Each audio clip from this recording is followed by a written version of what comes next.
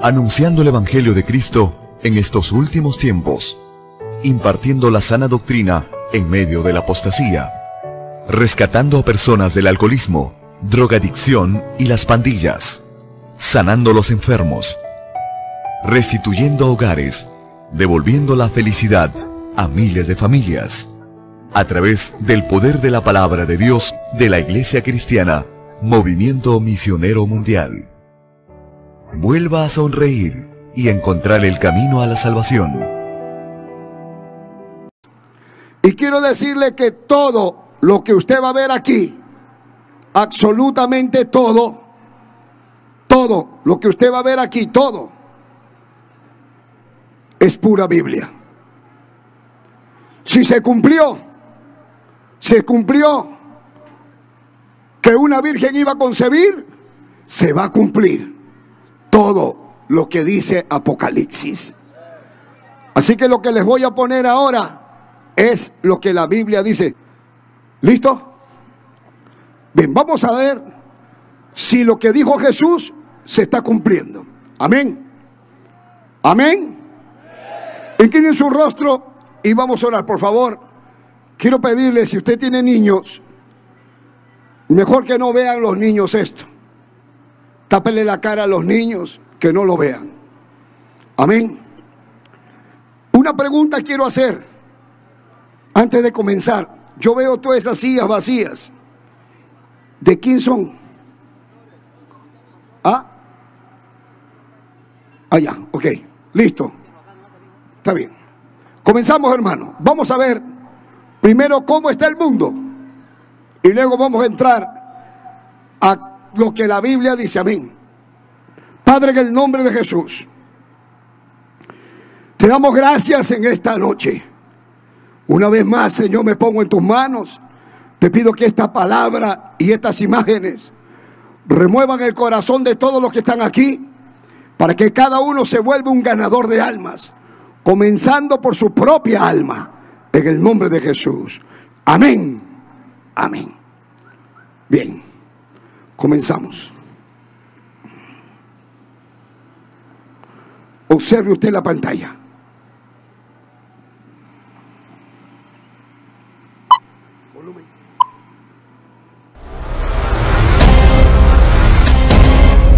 Esto que está viendo usted es un panorama de cómo está el planeta. ¿Qué cosa es lo que se ven? Inundaciones, violencia, terremoto, en diferentes lugares. El mundo está exactamente como lo dijo Jesús. Este es Apocalipsis 5. Apocalipsis 22, 20 dice, el que da testimonio de estas cosas dice, ciertamente vengo en breve. Amén. Sí. Ven Señor Jesús. Pon pausa. Mire hermanos, ¿se acuerdan que Dios tuvo que usar Augusto César para mandar a hacer un edicto para que se cumpla que José y María se vayan a, a Belén. ¿Se acuerdan, no? Ya. También en la Biblia habla de catástrofes que van a venir. Y esas catástrofes van a venir, ¿por qué? Por el recalentamiento de la tierra. La tierra está enferma. La tierra, el planeta, está enfermo. ¿Qué tiene el planeta, pastor? Tiene cáncer. Nadie puede hacer nada. Se está abriendo la capa de ozono. Esto está pasando en el planeta. Y miren, por eso vienen todos los, que, los trastornos que están viendo en la naturaleza. Entonces, avanza. El sol es un millón trescientos mil veces más grande que la Tierra. Pero ha comenzado a tener unas explosiones que le llaman las llamaradas solares.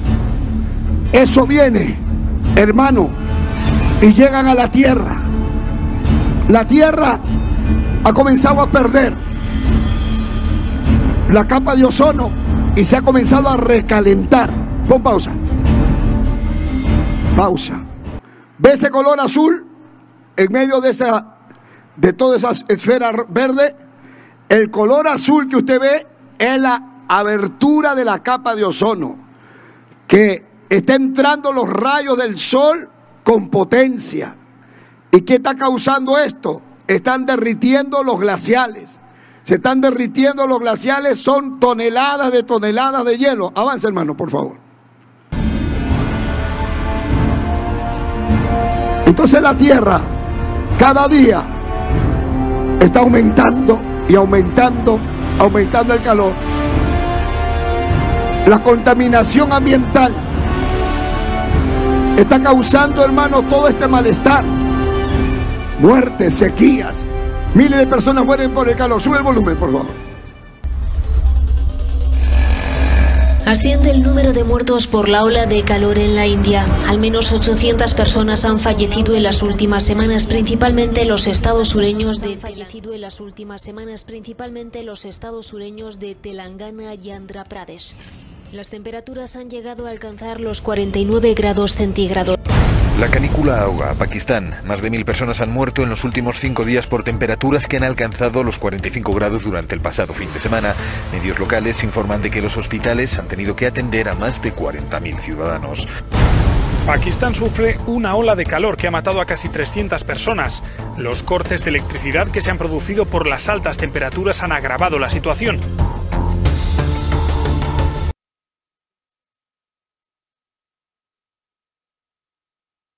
Hay miles de personas que están muriendo y no saben qué hacer. Por el mismo calor se está dañando el sistema eléctrico y la gente está muriendo. Son miles. Pero mire el colmo, hasta dónde está llegando el calor. Avanza.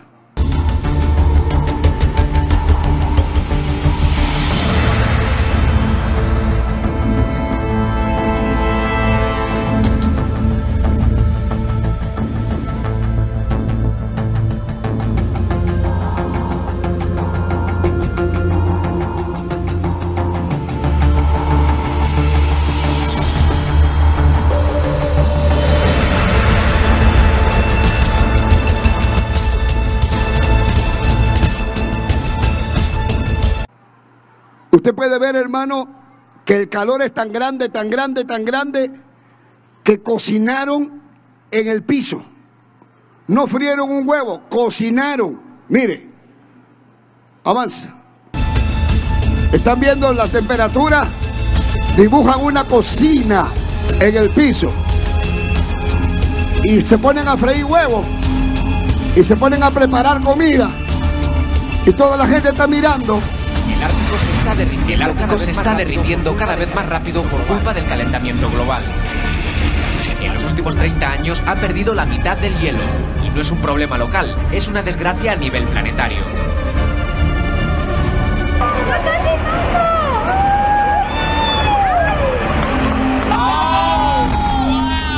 Así se derriten los glaciales.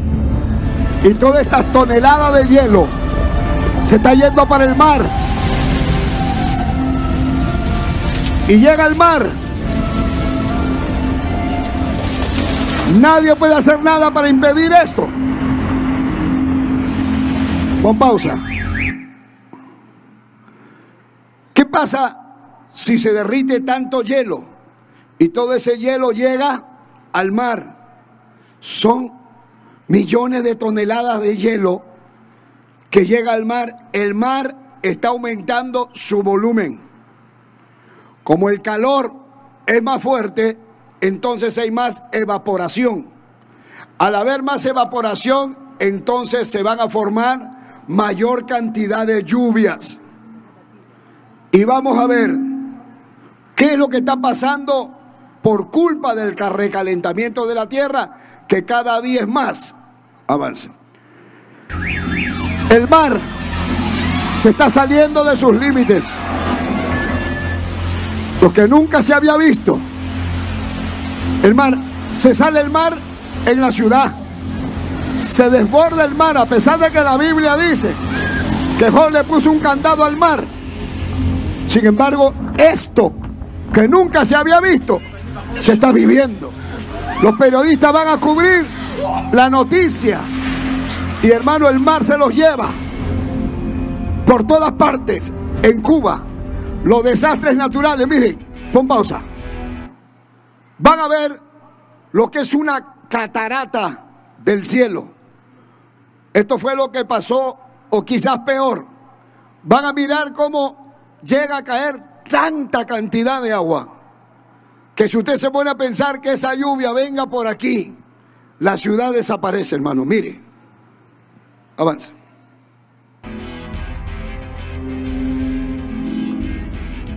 Mire la lluvia. Esa cantidad impresionante de agua. Esa es la catarata de las aguas. La catarata del cielo. Se abre, se desborda. mire cómo se llena la laguna en una. Imagínense que llueva así 40 días, 40 noches. Por eso, en el mundo está viéndose esto. Huaicos. Hermano, los huaicos también lo han visto ustedes por acá. Y todas estas desgracias está trayendo. Hermano, por culpa del recalentamiento de la tierra. Y nada pueden hacer. En Colombia, en Perú, hermano, en Ecuador, en diferentes países. La gente le sorprende de un momento a otro. Pon pausa. Mire esto, hermano. Esto fue una lluvia de tres días en Chile. La nube no avanzó y se fue. La nube nadie sabe por qué. La nube se quedó dando vueltas solamente en la ciudad y destruyó todo. Hermano, destruyó los lugares de refugio. Se llevó camiones, destruyó edificios, destruyó casas. Fue muy triste lo que pasó allá en Chile. Vean, avance.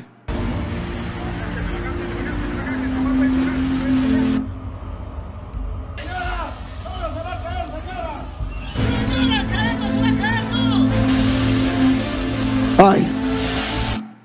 Déjalo que me Se la lleva, hermano. Jesucristo dijo que iban a haber pestes. Ahí están las pestes.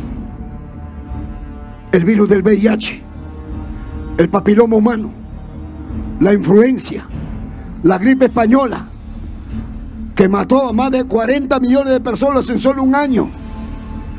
50 millones en el, año 1918 tenemos el, el, virus del VIH. O sea, lo que dijo Cristo, que iban a haber pestes, plagas, jovencitas, hombres, mujeres, infectados con VIH, con el papiloma. Y la muerte llega. Es muy duro. Hermano, donde vaya, esto está por todas partes. Enfermedades de transmisión sexual, mortales la peste bubónica o la fiebre negra que mató a más de 200 millones en Europa, en la China. Lo que quiero demostrarles esta noche es que lo que dijo Cristo se cumple. Mateo 24, 6, 8. Habrá hambre. Hambre. Hambre en diferentes países cada día se mueren 25 mil personas de hambre en el mundo en este tiempo, hermano. Sin embargo, el país con las reservas de petróleo más grandes del mundo se está quedando sin comida, sin electricidad, sin medicinas y sin papel higiénico. Venezuela, la realidad de Venezuela. A veces me acuesto, me, me acuesto llorando porque no tengo nada que darle a mis hijos. Esto ocasiona violencia ocasiona saqueos.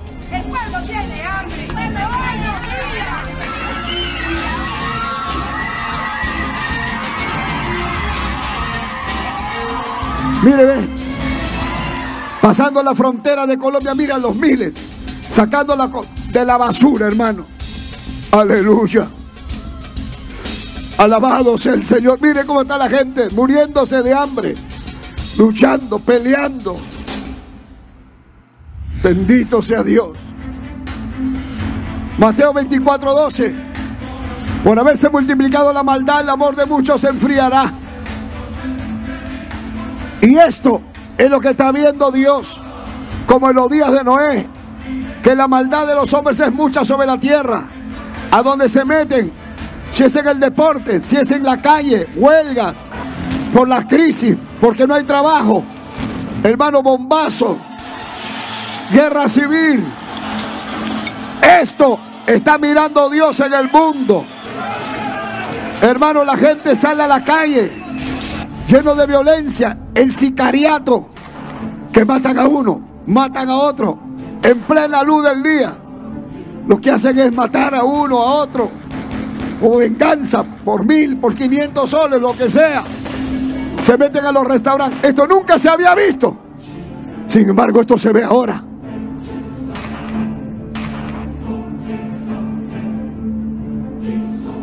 Qué triste, hermano. Todo esto está viendo Dios. Estamos peor que los días de Noé. A donde se metan. Nadie está seguro de nada. Los matan como perros. Adentro de la buceta le disparan y se bajan y se van. Hermano, mientras por un lado están disparando, matando por otro lado, buscando a quien violar, drogando. El mundo está así, desbordado en violencia, lleno de robos, lleno de asalto, por todas partes. Hermano, la inseguridad ciudadana, que es parte de lo que siempre hablan los políticos, por todo lugar, robos, asaltos. Hermano, de un lado, de otro. Poder en Jesús de Nazaret. Ahora, padres que violan, padres que asesinan, padres que abandonan a sus hijos. Mire, este bebito muerto en un tacho de basura, aún con el cordón umbilical puesto. Encontraron a otro bebito, hermano, en el desagüe. Un bebé abandonado en China, tirado en el Idodoro. Y lo encontraron que lloraba, mire, lloraba en medio de la tubería. Cortaron la tubería, de ahí lo sacaron. Cerca de una hora en remover los fragmentos del ducto pieza por pieza con pinzas de serruchos. Finalmente, el bebé de dos días de vida fue liberado. Aún tenía el cordón umbilical en la placenta. Nunca se había visto eso. Noticias de violaciones. Un estadounidense mató a su hijastra de dos años el fin de semana pasado debido a que la niña le molestaba durante el partido de su selección en el Mundial de Sudáfrica. Confesó a la policía que golpeó a la pequeña en el pecho causándole la muerte. Ello Pausa. debido a que con su- Imagínese un papá mata a su bebito porque no le dejaba ver el partido del mundial. Nunca antes se había visto estas cosas. gritos Nunca. concentrarse en el partido entre ¿Qué cosa estoy mostrando? Completamente amoratado resultó el pequeño e inocente Jesse de solo un añito, mientras estaba bajo el cuidado de la guardería Kitty Garden Daycare en Indianapolis, Indiana. Un doloroso e inexplicable. Dos hermanitos violados de 7 y 9 años. No pueden comprender el crimen de la pequeña Milagros Belizán de dos Dos niños de 7 y 9 años matan a su hermanita. Dos hermanos de 7 y 9 años de edad. El cuerpo de la niña fue encontrado desnudo sin vida en un terreno baldío y con un cable atado a su cuello. Pausa. Imagínense la noticia. Dos niños de 7 y 9 años mataron a su hermanita y la ahorcaron y la botaron. Acá está viendo este bebito de 7 meses de nacido. El papá la violó a la bebita de 7 meses. Usted dice, sí, pastor, yo he escuchado. Precisamente, antes no se escuchaba de esto. Ahora hay países, como en Canadá, que ya se aprobó la ley para tener sexo con animales. Allá, en España, hay una mujer, hija del diablo, que está luchando, hermano, para que se apruebe la necrofilia. ¿Sabe lo que es la necrofilia? Sexo con muertos. El mundo está podrido. Eso habla que Cristo viene. Eso habla que Cristo está a la puerta. Mire la maldad, todavía no ha visto nada. a Bolivia. La pareja pero dejó a la niña sola en casa con el hombre. quien aprovechó la ausencia de los padres para cometer la violación y fue hallado infragante por estos. El sujeto fue detenido y la pequeña fue internada e intervenida quirúrgicamente en el Hospital del Niño de la Paz. Maltrato infantil. La maldad se ha multiplicado como nunca. La propia mamá. En donde se meta este hombre, lo mató a este niño que era el hijo de su mujer, o sea, era el padrastro, y lentamente lo ahogó. Mire usted, usted ve cómo está pasando esto aún en los hospitales. Golpean a los bebés. A esta anciana, hermano, mire cómo a la que le pagan para que la cuide y la tratan como perro. Este papá y esta mamá metieron a su bebé a una lavadora y la ahogaron. Mujer mete a su hijo de dos años porque su marido la dejó, la mató. A una lavadora, hermano, la mató. Bendito sea Dios. En cuidados intensivos. Mire el enfermero. Qué maldad. Por otro lado, pleitos en la calle. Pleitos, borracheras. Así vive el mundo. Así está. Lleno de violencia. Lleno de maldad con cuchillo, con uno, con es sable, con una cosa. Mientras por otro lado, la juventud. Vamos a la iglesia. ¿Qué iglesia? ¿Ni qué iglesia? Vamos a fumar, vamos a bailar, vamos a la discoteca. Están buscando sexo. Igualito que los días de Noé. Salud, compadre. Perdió Perú. Ganó Perú. Salud, compadre. Cumpleaños de la abuela. Cumpleaños del primo. 15 años. Matrimonio. Borrachera. Coca. Droga. Así están. Como animales. En la calle. Se caen, hermano, drogados. Perdidos. Quieren seguir tomando. Se quieren seguir drogando. Pregúntele, son profesionales, están estudiando, son niños drogándose. Esto sale en televisión. Esto es lo que se predica ahora de la basura de la droga. Están haciendo otra droga que es peor que la otra. Cada día está peor el mundo. ¿Y por qué? Porque Cristo viene. Hermano, gente famosa, gente de la farándula que todo el mundo lo sigue. Ahora usted los ve podridos en la droga. Por otro lado, Lucas 17, 28, que el mundo iba a estar como Sodoma y Gomorra. Ahí está, lleno de homosexuales, lleno de lesbianas. El día del orgullo gay, que no se debe hablar de esto, que van a meter preso a los que predican sobre esto. A los pequeños alumnos les leían las historias de dos príncipes enamorados. El resultado, los niños durante los recreos jugaban a los homosexuales.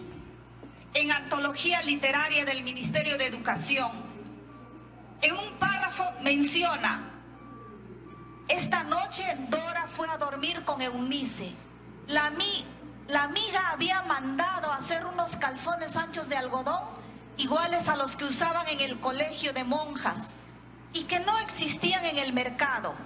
Vestidas apenas con esas prendas que a pesar de toscas o tal vez por ello tornaban aún más atrayentes sus delgados cuerpos. Las dos hicieron el amor con una pasión intensa. ¿Esto le parece saludable enseñar a los niños, señora ministra? ¿No hay otras prioridades en la educación? Pausa. Esto es Perú. Ustedes lo saben. Esto ha salido en el noticiero en Perú. Diciéndole a la ministra de Educación cómo es posible que metan a los niños que el papá y la mamá los están educando a los niños en casa para que aprendan a respetar, para que sean honrados, para que aprendan a saludar. Van al colegio y le enseñan sexo oral, le enseñan que pueden ser hombre o mujer. La ideología de género, hermano, se ha metido por todas partes. La aclaran a la, a la, a la ministra y le dice, ¿por qué te está fomentando la ideología de género? ¿Por qué? ¿Por qué tiene que meter esto en las escuelas? ¿Por qué? Hermano, por eso las marchas. Con mis hijos no te metas, con mis hijos no te metas. Y salimos por un lado y por otro lado, con mis hijos no te metas. Pero aunque gritemos, con mis hijos no te metas, eso está escrito en la palabra de Dios, que el mundo se va a volver como Sodoma y como Gomorra. Y eso que habla, que Cristo viene. Esto habla que Cristo viene. Esto es como cuando la gente se acercaba y le decía a Noé, pero ¿y ese, y ese ese barco tan grande que hace aquí, eso es porque viene juicio. Usted dice, pastor, ¿y por qué está pasando esto? Porque viene juicio. Viene el juicio de Dios. Viene el juicio de Dios. Ya. No se da cuenta que todo lo que Cristo dijo que iba a pasar antes de su venida se está cumpliendo. ¿Acaso es casualidad? Usted puede escuchar y decir, allá ah, sí está bien, y sigue igual, como la gente del tiempo de Noé, igualito. Ideología de género, todo desde familia a nivel nacional, exigimos que se retire este currículum nacional que todavía es controversial. Mientras, por otro lado, pausa. Mientras por otro lado, mientras el mundo está lleno de corrupción y lleno de pecado, las iglesias son los que tienen que predicar el Evangelio. Los pastores tienen que predicar contra el pecado y decirles que Cristo vino a salvar todo lo que estaba perdido. Avisarle a la gente de que ya viene Cristo. Sin embargo, también otra señal que dio el apóstol San Pablo, que no iba a venir Cristo si primero no venía la apostasía. ¿Y qué es la apostasía? Cuando las iglesias se salen de la verdad y ahora creen cualquier basura de cosas. Ya no están predicando el verdadero evangelio. Hermano, hay gente que está metido en iglesias que todo es payasada, que todo es mentira, que todo es profecía y no les enseñan la palabra de Dios. Usted quiere una iglesia que le enseñen la palabra de Dios, póngase a orar. Acá en Chao hay una iglesia del movimiento misionero mundial. Acá le hablamos las cosas claras, le duela a quien le duela. Acá no estamos buscando gente para que traiga plata. Acá estamos buscando gente para que vayan al cielo. Usted va a escuchar todo esto y usted quiere saber más. Vaya, búsquelo al pastor. No que yo soy diácono de la iglesia de allá, soy el encargado. No importa dónde estés metido. Si tu nombre no está escrito en el libro de la vida, estás perdido, hermano. Mire, esto es la apostasía. Imagínense. Ahora para sacar demonios. Ahora ponen el, zapato bendecido. En todas las iglesias, mira las payasadas que hacen, hermano. Se ha desfigurado la imagen real del Evangelio. Nunca se había visto aún en iglesia católica. Mira los payasos ahora. Cierren los ojos. Por la palabra que estas mujeres adelgacen una talla. Están orando para que adelgacen las gordas. ¿Por qué no dice que se arrepientan? Este hombre le pone la mano en los senos a la mujer, delante de todos el pastor. Ahora para que le crezca el seno. Ahora que le enseña los delante de todos, sin respeto.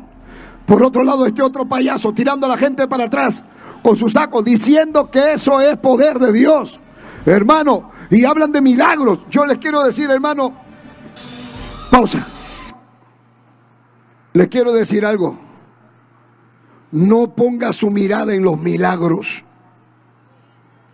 Dios hace milagros.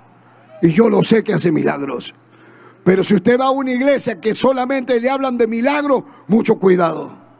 Porque Satanás también hace milagros, pero falsos. Ahorita lo sana y al mes está peor. Y maldita toda la familia todavía. Por eso, ponga su mirada en Cristo, en el autor y consumador de la fe. Y dígale, Señor, ¿dónde voy? ¿Dónde voy a congregar? Donde me enseñen la palabra. Ahí vaya. Mire, avanza. Ahora dice que este es el fuego de Dios para recibir el bautismo del Espíritu Santo.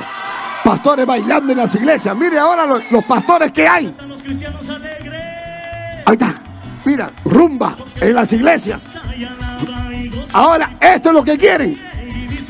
Estos son los que están esperando la venida de Cristo.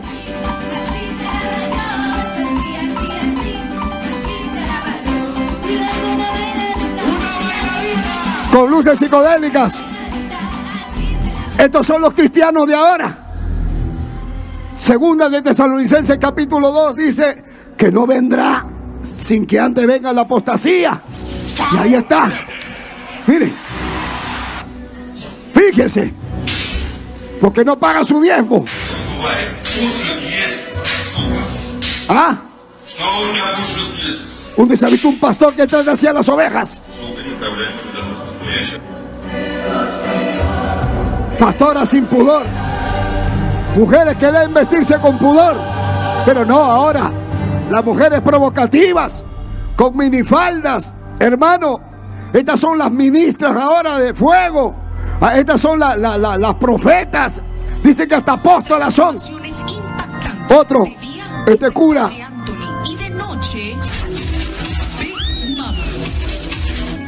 Eso que estás dando se te va a multiplicar. Todo lo que pones, Dios te lo llena. O sea, usted vacía los bolsillos y Dios se los llena. El problema con las monedas, que si usted le da una orden a las monedas, usted va a ser taxista. Pero si usted le da una orden al billete, usted va a ser empresario. Menos de 24 horas va a hacer milagros. Sus mensajes de plata. Vacíe los bolsillos, dice. Entregue su dinero. Si usted le da una orden a la moneda, usted va a ser taxista. Menospreciando al taxista. ¿Qué tiene de malo que uno sea taxista? Y si uno puede dar una moneda, ¿qué pasó con la viuda que dio una monedita?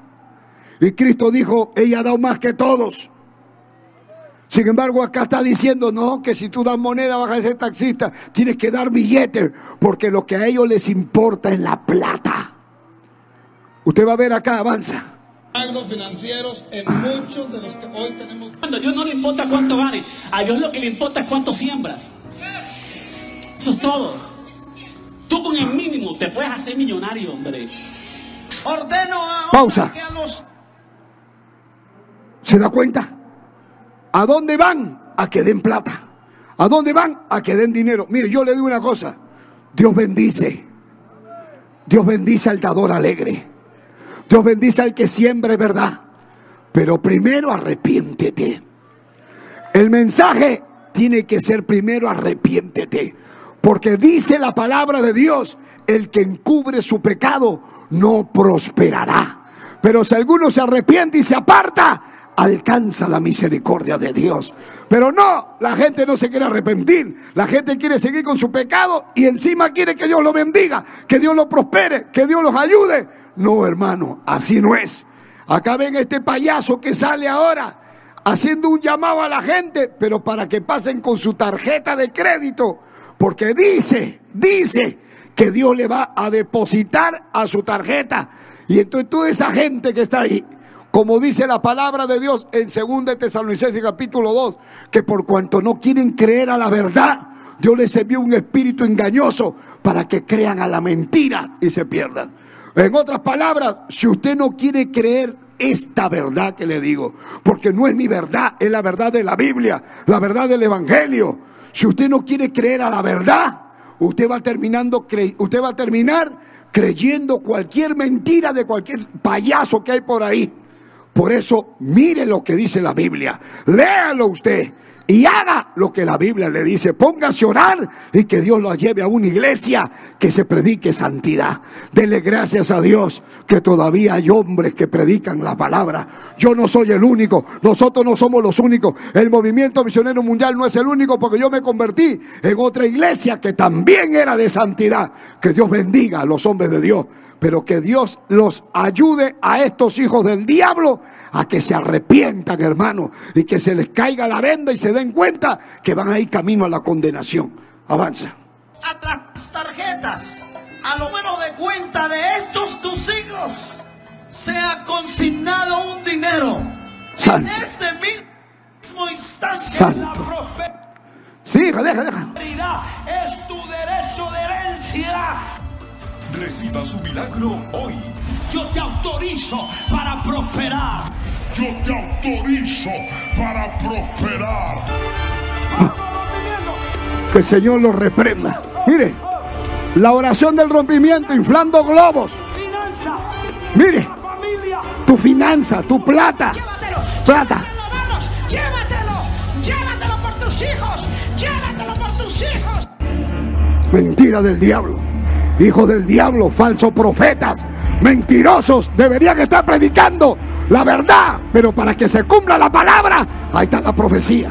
Ahí está la apostasía de milagros falsos de mujeres que caminan, la hacen caminar con silla de ruedas y de nuevo se va a otra campaña con su silla y sale igual.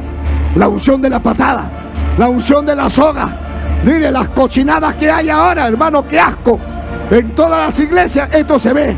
Estos son los payasos, los pastores vestidos del chapulín, homosexuales en los altares, metiéndose los hombres por abajo de las piernas de las mujeres. Hermano, ¿qué es esto? A ella dicen el nuevo nacimiento. Miren lo que dice el nuevo nacimiento, que ahora lo sacan de la tumba y ahora todavía danza, en el espíritu danza, como que fuera del. Ahora dijo Jesús que iban a haber terremotos. Y eso es lo que se está viendo ahora. La tierra está temblando en diferentes lugares.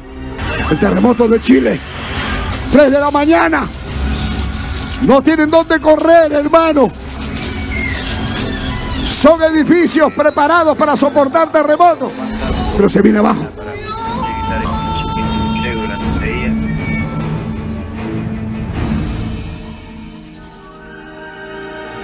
Estos terremotos, ¿por qué tantos? ¿Por qué tan seguidos? Porque Cristo viene. Cristo viene. Cristo viene. Cristo viene por su iglesia.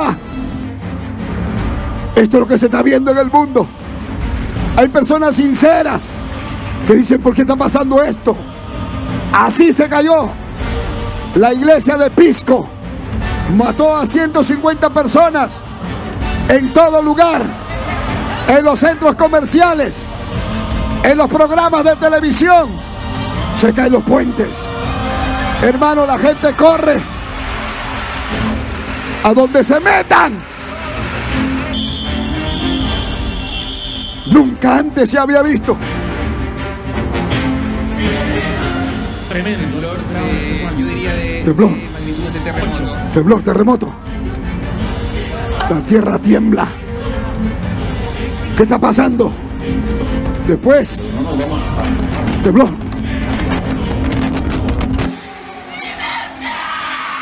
Pausa.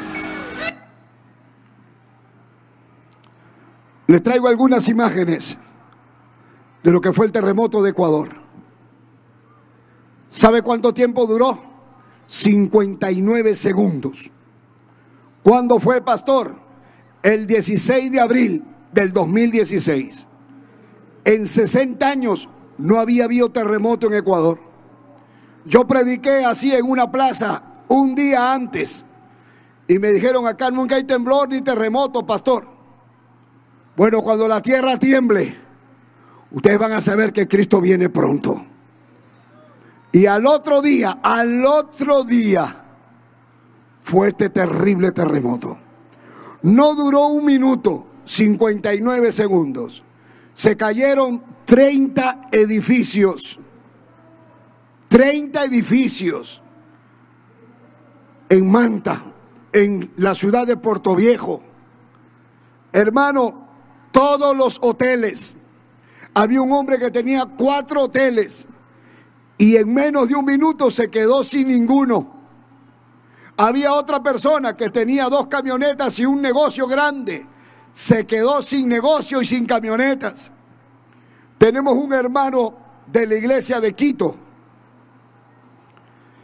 Me dice el pastor de Quito, pastor Eugenio, ha llegado un hermanito como, como loquito. ¿Y por qué? Se murió toda su familia en el terremoto. Una vida nueva que recién se, se ha convertido a Cristo. Dice que se murió su esposa, sus hijos, su mamá, sus hermanos, sus cuñados. Se quedó solo. Y usted lo ve caminando por la calle diciendo no puede ser, no puede ser. ¿Cuánto tiempo duró? 59 segundos. ¿Qué dice la Biblia? En Apocalipsis capítulo 16, verso 18, dice, y hubo un temblor de tierra tan grande, tan fuerte, que nunca ha habido en la tierra desde que los hombres han estado aquí. La Biblia habla de que va a haber un terremoto que se va a sentir en todos los países y que todas las ciudades se van a venir abajo. Un terremoto tan grande que nunca ha habido desde que el hombre está en la tierra. Pastor, una pregunta. ¿Y cuál ha sido el terremoto más grande que ha habido? ¿Usted sabe cuál ha sido? El terremoto más fuerte y más grande. Un terremoto. Si no me equivoco, fue el 22 de mayo de 1960 en Chile. No les voy a decir la ciudad ahorita porque no me acuerdo. Pero ese terremoto que hubo en Chile fue de 9.5. En la historia nunca ha habido un terremoto tan fuerte, de 9.5. ¿Sabe cuánto tiempo duró? 10 minutos. Quiere decir que si ese terremoto ya hubo, murieron muchas personas, hubo un maremoto, cataclismo terrible, pero no era el fin, solamente está avisando que viene otro más fuerte. Quiere decir que va a haber un terremoto superior a ese, porque eso dice Apocalipsis. Ahora mire, hermano, nosotros fuimos a llevar víveres. Avanza, por favor. Esta es la cara de lo que fue el terremoto en Ecuador. Nunca se había visto esto. Las familias de Ecuador, todos, hermanos, se unieron. Lloraban en las calles. Nunca se había visto tanto niño muerto, tanta familia muerta. En menos de un minuto, usted puede ver que esas construcciones no eran, no eran, hermanos, de barro, sino de concreto. Las carreteras se vinieron abajo. Y por otro lado, ya estamos acostumbrados que después del terremoto se esperan maremotos, se espera el tsunami. Este es el maremoto en Japón, el maremoto que hubo en Indonesia. Mató 250 mil personas en Indonesia, 50 mil niños. Pastor, ¿por qué está pasando esto? Porque viene Cristo. Ahora está de moda la erupción de los volcanes en Hawái. Dos mil millones gastados en la evacuación. Esto se está viendo. Estas cosas se ven. ¡Mire! Un fuego que sale. La gente corre, se muere asfixiada. Nunca se había visto. Sí, así está el mundo.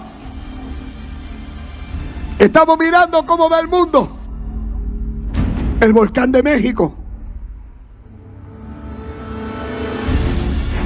Entró en erupción. Volcanes que han estado como dormidos. Volcán en Guatemala. ¿Por qué, pastor? Porque viene Cristo. Hermano, ya viene Cristo, ya viene. que le presento, miren, esto es increíble. Ahí hay personas fallecidas. ¿Qué fue lo que Con todo respeto estamos presentando imágenes. Ay, saber, digo yo, porque bastante, toda la gente no pudo salir. Toda la gente no pudo salir. La, la lava, la lava se vino por todos los lotes y la calle. Y también el robo. Tuvo mucho que ver para que muchas personas se quedaran soterradas en ese lugar. Nosotros vamos a incursionar un poco más en el lugar. Esta es una de las aldeas y terrenos, como bien lo indicaba. ¿Se encuentra algún familiar suyo desaparecido? Sí, mis hermanos, mis sobrinos, ¿Cómo? mis hijos no los encuentro. Se ha presentado hace algunas horas. Vean cómo pues eh, los vamos a evacuar rápidamente. Ve. Este es el volcán. Este no es terremoto, este no es maremoto. Este es el volcán. Ahora. Pausa. Ya voy a avanzar más rápido, hermano. ¿Cómo yo estoy seguro que Cristo viene pronto? ¿Por qué? Por esto. Apocalipsis 13 dice, y hacía que todos, pequeños y grandes, ricos y pobres, libres y esclavos, se le pusiese una marca en la mano derecha o en la frente, y que ninguno pudiese comprar ni vender, sino que tuviese la marca o el nombre de la bestia o el número de su nombre. Aquí hay sabiduría. El que tiene entendimiento cuente el número de la bestia, pues el número de hombre y su número 666. Está diciendo San Juan apóstol que escribe Apocalipsis. San Juan dice que va a haber un líder mundial que le van a llamar la bestia. Y ese líder mundial que le van a llamar la bestia va a desaparecer la moneda a nivel mundial. O sea, quiere decir que ya no va a haber dólares, no va a haber euros, no van a haber soles, no va a haber ni pesos, ni colombianos, ni mexicanos. Todo va a ser moneda electrónica. A través de una marca, dice San Juan, hace dos mil años, una marca en la mano o en la frente. Y da la casualidad que esa marca ahora se está viendo que puede ser a través del microchip o del nanochip que están poniendo en la mano, hermano, en diferentes países del mundo. Lo terrible de esto, hermano, es que si usted lo ve de una manera humana, es una bendición. ¿Por qué? Porque de esta manera ya usted no va a tener DNI, ya no va a usar pasaporte. Lo que va a usar es el microchip y ahí se va, va a llevar toda la información que se necesita. Si este hombre pone ese sistema, en el mundo entero no va a haber monedas, ninguna, ningún tipo de billete, solamente comprar y vender a través del nanochip o del microchip. Ahora miren en cuántos países se están poniendo microchip. No es la marca del anticristo, pero ya eso habla que el anticristo está cerquita, que ya viene. ¿Y cuando viene? Cuando Cristo venga, Cristo viene primero, nos lleva y ahí atrás aparece el anticristo. Mire, avanza por favor. Entonces veamos el microchip.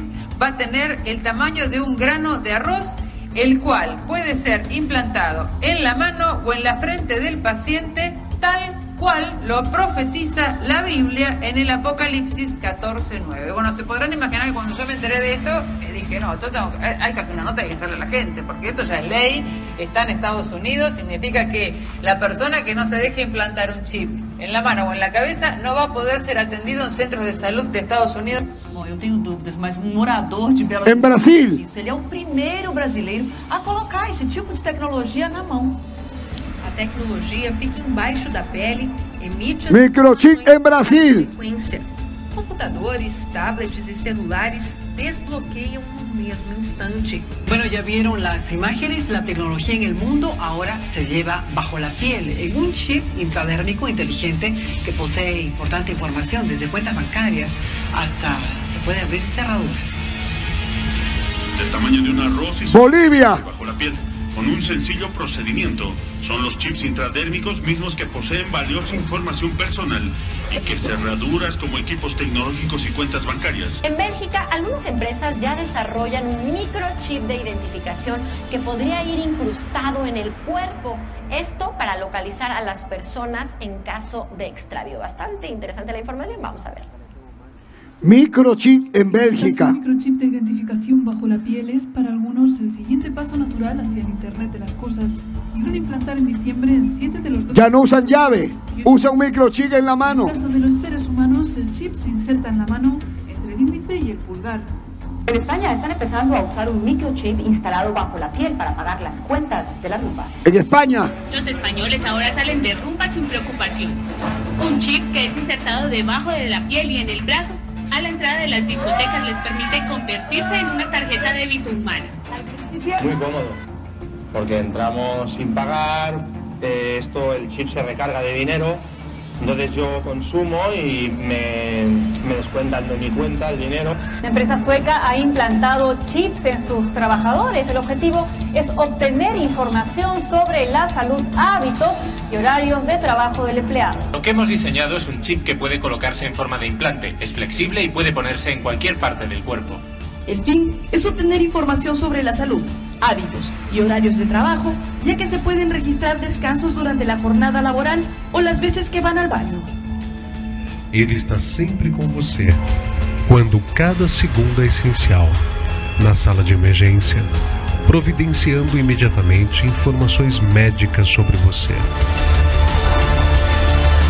Pausa. Bien. ¿Está mirando? Hermano, esto es, esto es importante. Diferentes países ya están viendo la posibilidad de desaparecer el DNI, la cédula, luego el dinero. Dicen, ya nadie va a poder comprar si no tiene un microchip. En Lima, yo no sé si acá, pero en la ciudad de Lima, usted toma un taxi y lo paga con su tarjeta. Ya no tiene que llevar dinero. En México, usted está viendo allá en España, se van a la discoteca y en la discoteca pagan con el microchip. Dice, estoy tranquilo, ya no me roban. O sea, por un lado parece bueno, pero por otro lado es lo que la Biblia dice que va a hacer el anticristo. Antes, hermano, la iglesia tiene que partir al cielo. Antes de que el anticristo venga y le ponga a todos el microchip, Cristo ha tenido que venir a levantar la iglesia. Escúcheme ahora, las Naciones Unidas han dado una declaración. Hermano, yo no estoy aquí para jugar, estoy para decirle lo que va a venir, lo que va a pasar. Escúcheme bien, las Naciones Unidas han dicho que para el año 2030, o sea, de aquí a 12 años, todo el planeta tiene que tener microchip. Lo ha dicho las Naciones Unidas, que todos van a tener un microchip y que van a estar controlados por una supercomputadora. Y que de esta manera van a arrancar la pobreza, el hambre, porque van a controlar cómo está cada persona en el planeta. Pero si eso pasa, hermanos, si eso ya viene, quiere decir que Cristo viene antes. Porque primero tiene que venir Cristo. Ahora, el día y la hora nadie lo sabe. Yo no voy a decir que de acá 10 años, ni de 12 años, ni 20, yo no sé. Porque yo no puedo predicar elegías. Pero como todo está preparado, es como que esto se está preparando para que Cristo ya venga. Ahora mire, la Biblia dice que los niños tendrán sueño, los ancianos tendrán visiones. Antes también. ¿Cuántos de ustedes han soñado aquí que se sale el mar, que vienen bolas de fuego del cielo, que la gente corre desesperada? Si yo he soñado, pastor, eso es un sueño apocalíptico. Dios te está avisando que viene el rapto de la iglesia. Avance ahora. Ya de acá para adelante se va poniendo más fuerte. Un bebé observa a Jesús viniendo en las nubes y su mamá le dice, mire, acá tenemos el caso de una mamá que tiene una bebita de dos años y la niña le dice a su mamá, mamá, algo está viniendo, algo viene y le relata la visión. Escuche. Él está en camino. Papito arriba. Te sube arriba. Pon pausa. Una mamá cristiana que tiene su hijita de dos años. Recién ha cumplido dos años, tenía un año. Y la niña le dice, mamá, está viniendo. Se lo dice en inglés, está viniendo. ¿Quién viene? El rey. Ya está viniendo. El bebito, la bebita. La mamá dice, pero espérate un ratito. Ahí viene, ya viene. Viene. La niña y la mamá que ha hecho, ha sacado su celular y con el celular la ha grabado. Y dice la niña, ahí viene el rey. Ya viene. Está viniendo. Mire, mire lo que dice. Los que saben inglés lo pueden ver. Ahí está la traducción. Pon. El rey me trae un regalo. Volumen. En el aire. Él está viniendo en el aire. El padre rey está arriba. El rey está mostrando el padre arriba. Mostrando el padre arriba.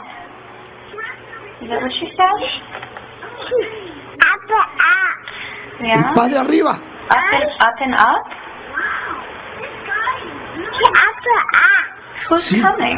El padre arriba. Él está viniendo. Mateo 24, 14. Y será predicado este evangelio del reino en todas las naciones y entonces vendrá el fin. Por eso estamos predicando. Hermanos, Cristo viene. Volumen. Cristo pondrá fin. Que Cristo viene. Volumen. Que Él está a la puerta. Porque Dios, el Dios que hizo los cielos y la tierra, Él no ha cambiado. Él viene. Él viene. Viene. Y Volumen. nos vamos. Nos vamos. Que Cristo viene por su iglesia. Pero la Biblia dice, el Señor mismo, con voz de mando y con trompeta de Dios, descenderá del cielo y los muertos en Cristo resucitarán primero. Y luego nosotros los que estamos vivos seremos arrebatados. Vamos a desaparecer. Hermano, de un momento a otro vamos a desaparecer. Quizás mientras estoy predicando de repente desaparece. Así será. Aleluya. Así será el rapto de la iglesia. Estarán dos en una cama. Uno será tomado, otro será dejado. Estarán en, el campo, en diferentes lugares. Y el rapto de la iglesia, lo que tanto se ha venido hablando, hermano, en diferentes partes del mundo, vendrá el rapto, vendrá Cristo. Ante la cara de todo el mundo, desaparecerán.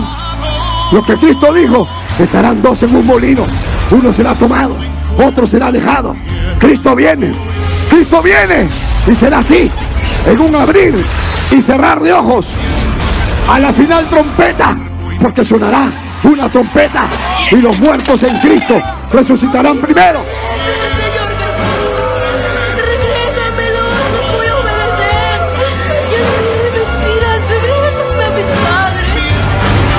Cristo viene. Van a llorar. Pausa. ¿Por qué llora? ¿Por qué grita tanto? Porque lo que sigue después del rapto es la gran tribulación. Y si alguien va a sufrir grandemente, son los que se quedan y son el pueblo judío. Así como usted ha visto, hermano, yo era católico, yo no sabía nada de esto. Pero la Biblia dice, el apóstol San Pablo le dice a los tesanolicenses, porque el Señor mismo, con voz de mando, con voz de arcángel y con trompeta de Dios, descenderá del cielo y los muertos en Cristo resucitarán primero. Y luego nosotros, los que habramos quedado, los que estamos vivos, seremos arrebatados y partiremos con el Señor en el aire y nos encontraremos con el Señor. Y ahí el Señor nos va a llevar al tribunal de Cristo a darnos corona, mientras acá en la tierra va a pasar esto. Mire, en la tierra pasa esto. Desaparecen los cristianos en diferentes partes del mundo. La gente va a decir, pero ¿qué ha pasado? Yo no entiendo lo que se habló, lo que se dijo. Todo el tiempo se habló de la venida de Cristo. Se dijo que venía. Desaparece el conductor del camión. Accidente. Desaparecen en el colegio. Desaparecen en la universidad. Desaparecen en todas las congregaciones cristianas. La gente va a llorar. La gente va a gritar. Como te encuentres en el momento del rapto. Así como te encuentres. Así será. Va a determinar. Nos hemos quedado. ¿Qué quiere decir que nos hemos quedado? ¿Dónde están todos? ¿Qué pasó? Se fueron. Todos se han ido. Aquí estoy. No me dejes. No me dejes.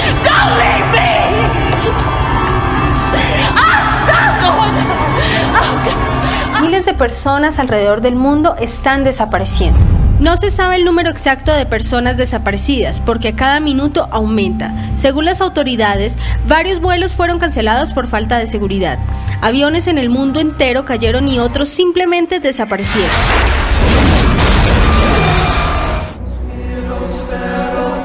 Pausa. Hermano, Cristo puede venir mientras estoy predicando aquí. Y los que están bien, partimos al cielo. Después del rapto de la iglesia, las noticias van a sacar, desaparecen miles de personas, las emisoras de radio, por los medios. Nadie va a decir, vino Cristo. Nadie va a decir, Cristo vino y levantó la iglesia. Nadie va a decir. Lo que van a decir es que el planeta Tierra ha recibido un ataque, quizás de otro planeta, de seres de otro planeta. Por eso que también hay muchos grupos que en la actualidad están hablando de platillos voladores. Y que el IPRI, está el IPRI, Instituto Peruano de Relaciones Interplanetarias. Y ahí va la gente que ha visto platillos, se han visto cosas, y hay grupos de personas que están estudiando a ver si hay ya genes de otros planetas. Cuando suceda el rapto, van a decir, van a decir, bueno, un ataque. ¿A dónde se fueron? No sabemos. ¿Qué bomba es esa? No sabemos. ¿Quiénes son los que van a saber? Los que se quedaron. Este evangelio está siendo predicado en todas partes. Yo le estoy predicando esta noche. Esto va a pasar. Si usted no se arrepiente y viene Cristo, usted se queda. Y usted va a ser el que va a saber. No, el pastor predicó de eso. El pastor habló. Eso se ha cumplido. Y usted va a llamar por teléfono a la radio, va a llamar a las emisoras. No, lo que ha pasado es que ha venido el rapto, lo que está en la Biblia. Cállese, ¿qué Biblia ni qué Biblia? Así hacen. Cuando uno quiere hablar de la ideología de género, dice, pero la Biblia dice, ¿qué Biblia ni qué Biblia? Cuando le dicen a los homosexuales, pero ¿cómo se van a casar hombre con hombre si la Biblia dice, no hablemos de la Biblia? Nadie quiere hablar de la Biblia. Cuando la gente peca, no quiere que le digan la Biblia, nada de Biblia. Cuando venga el rapto, nadie va a poder hablar de la Biblia. Solamente van a gritar y van a decir, y ahora, y ahora, ahora, a esta tierra, a esta generación, le quedan siete años. Después del rapto, le quedan siete años. El mundo no va a estar toda la vida burlándose de Dios, hermano. ¿Usted cree que todavía va a estar fumando, tomando, drogándose, bailando salsa, jajaja, burlando del todo? No, hermano, un día va a llegar Cristo y se va a llevar la iglesia. Y hermano, nos vamos. Yo me voy por si acaso les aviso. Yo me voy con mi esposa, nos vamos todos los que estamos apuntados en el libro de la vida. ¿Y qué pasa si me quedo? Eso es lo que te voy a enseñar ahora con los que se quedan. Se va a cumplir entonces esto que dice Segunda de Tesalonicenses capítulo 2, versículo 8 y 9.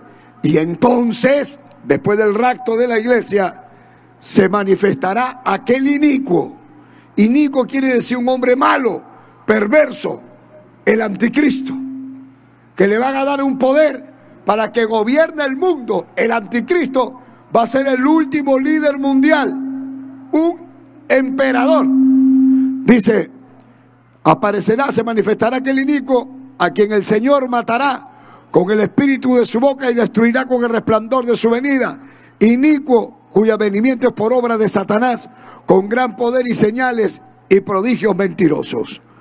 Según de Tesalonicenses capítulo 2. Así como les dije, Isaías 7:14, una virgen va a concebir y se cumplió, se va a cumplir. Segunda de Tesalonicenses capítulo 2. Se va a cumplir. ¿Y qué va a pasar? Avanza. Entonces vamos a ver lo que va a pasar en la tribulación.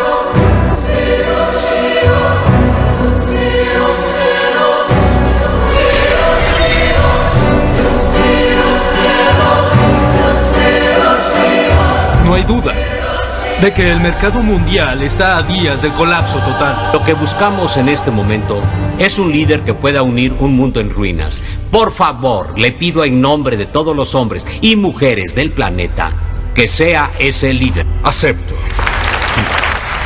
De inmediato pediremos a toda la nación el desarme y que hagan a un lado todas sus diferencias raciales, políticas, sociales y principalmente religiosas. No existen el cielo ni el infierno, solo existimos nosotros, aquí y ahora. Y entonces, testigos de su primer día en un mundo unido. entonces, con pausa. Aparece este líder mundial. Le dan corona. El jinete del caballo blanco del capítulo 6 de Apocalipsis. El cuerno pequeño. Aparece y le dan el poder. Y el anticristo, ahora nadie le va a decir anticristo. Va a ser carismático. Va a hablar muchos idiomas. Va a traer soluciones, hermano, en la economía mundial.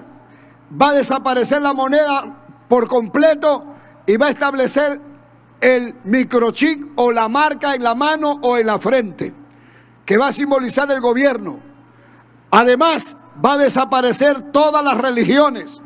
No va a haber ni una religión diferente a la otra. Va a haber una sola religión puesta por el mismo anticristo, con un líder que va a ser el falso profeta que va a trabajar con él. Luego de todo esto, se va a mandar en el mundo entero que toda la gente se ponga microchip o nanochip o lo que haya en el momento del rapto. Nadie va a poder salir a la calle hasta que no sean empadronados. Como ha habido, ¿se acuerda acá en el Perú? Nadie sale. Censo. Va a haber un censo a nivel mundial. Nadie sale a la calle. Todos en su casa. Y van a ir casa por casa. Y le van a tocar la puerta. Y van a decir, a ver, ¿cuántos han desaparecido acá? Bueno, acá han desaparecido uno, mi hermano que era cristiano. Cállese la boca, nadie está hablando de eso. ¿Cuántos han desaparecido? A ver, anótalos ahí, listo. Le vamos a poner una marca en la mano, ya no va a haber moneda, hay un nuevo, un nuevo orden mundial, un nuevo gobierno mundial. Pónganse la marca, es voluntario, si quieren se la ponen y si no, no. Los que son cristianos que se quedaron van a decir, no, no, yo no me pongo nada, yo no me voy a poner nada. Bueno, ya que no se la ponga, ya apunta ahí que no se la quieren poner. Al principio, los primeros tres años y medio, va a ser una supuesta paz, va a traer la paz en Israel, ya no va a haber esos conflictos porque el anticristo va a ser un mediador de paz. Sin embargo, a medida que van pasando los, los años de la gran tribulación, se desatan los terremotos más grandes de la historia. Se van a, la capa de ozono se abre, el calor va a aumentar, va a haber escasez de agua, no va a haber agua. Lo que está pasando en Venezuela, que usted ve que la gente no tiene que comer y la gente sale a buscar comida a otro país, va a ser en todos los países. Lo que está pasando en Venezuela, mis queridos hermanos, es una muestra. Y lo que les sucede a ellos es lo que va a ser en la gran tribulación, pero a ellos, imagínense que encima le viene un terremoto, y encima un cataclismo, un maremoto, y encima que el presidente comienza a corretear a la gente para torturarlo. Eso sería la gran tribulación. Eso ya no va a ser Venezuela, va a ser en todos los países donde la gente no va a tener que comer. Lo va a mirar ahora. Lo va a mirar. Entonces, avanza. El anticristo. Una Baja el volumen. un lenguaje, Bájame el volumen, nada más te digo. un futuro. Luchar cada día para que la vida de Lo cada van a ver por los medios, sea mejor por la televisión, por las redes. Él va a salir dando su mensaje Soy a las naciones. No sí, sé que algunos lo piensan. Entonces ahora se desata la ideología de género, hermanos, se llena la tierra de homosexuales y lesbianas, salen a bailar, porque ahora sí lo aceptaron en todos los países. Y todo va a ser perversidad, corrupción, inmundicia, pecado. Hermano, el anticristo va a decir, van a ponerse una marca y van a toda la gente van a poder, nadie va a poder comprar ni vender. Mientras tanto, en las congregaciones los que se quedan, como este pastor que dice yo he sido pastor en Mississippi 50 años, desde que yo era joven, he puesto varias iglesias, dice, pero sin embargo, ¿a cuánta gente traje a las cosas de Dios? Y me quedé, yo también me quedé, porque en el rapto también se van a quedar pastores, se van a quedar diáconos. Pausa. Sube el volumen, por favor. Ahora vamos a ver esos pastores de la prosperidad, esos pastores que les enseñaban basura. Cuando venga el rapto de la iglesia y desaparezcan los cristianos, los otros cristianos que fueron engañados por esos pastores van a ir a reclamarle. Acá vemos una similitud de lo que va a pasar. Miren, sube el volumen. Por fin te encontramos. De charlatán que hacía. Declare. Volumen. Decreta ahora que el anticristo deje de gobernar la tierra. Decreta que nos vayamos al cielo. Nos engañaste con tanta mentira y falsedad. Yo seguí su consejo, yo ponía en práctica su mensaje y trágicamente me di cuenta demasiado tarde que no era el verdadero evangelio de Jesucristo. Usted nunca habrá dado arrepentimiento de nuestro pecado. Muchas veces yo sabía que mi vida no estaba bien delante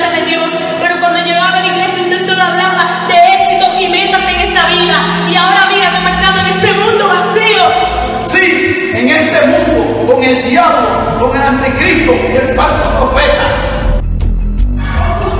Y aunque lo golpeen, aunque lo pateen, nada van a conseguir. La realidad, demasiado tarde. Es demasiado tarde. Ya se fueron todos, se fueron. Aunque grites, aunque clames. Entonces ahora nadie va a poder comprar.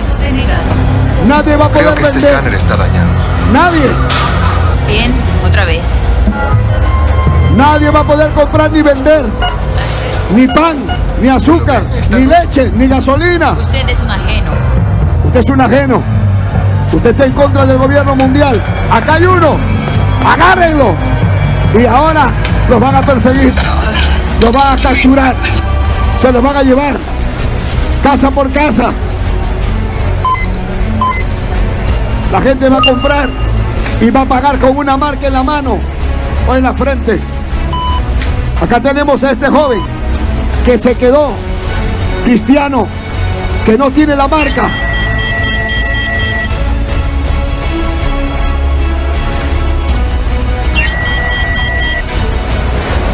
Por favor, señorita, tenga compasión de mí. Mi familia no ha comido hace tres días. Tenga piedad. Déjeme hacer esta compra por esta vez solamente. Por favor, por favor. Es totalmente sencillo. Póngase la marca y puede comprar con total libertad. ¿Qué es lo que no entiende? Pausa.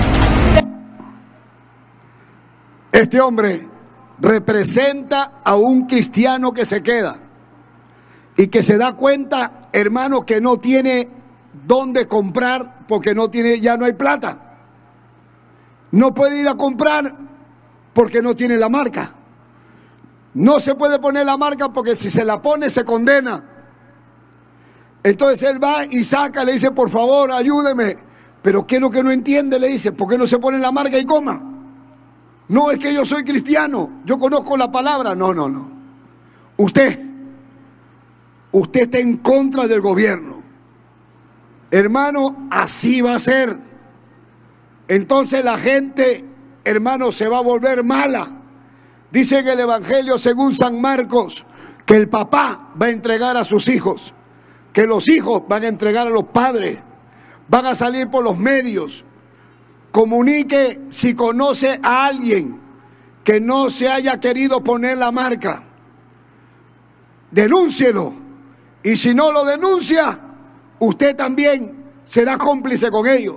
Como lo que está pasando en Corea del Norte.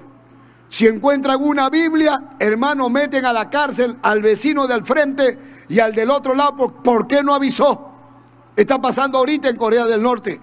En algunos países, en algunos lugares, en algunos estados de Estados Unidos están diciendo, está prohibido contratar gente ilegal en los trabajos.